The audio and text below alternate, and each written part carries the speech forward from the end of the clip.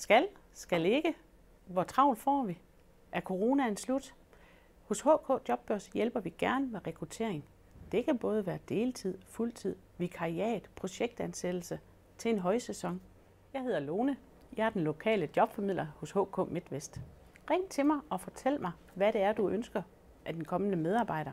Så finder jeg nogle gode HK'er til dig.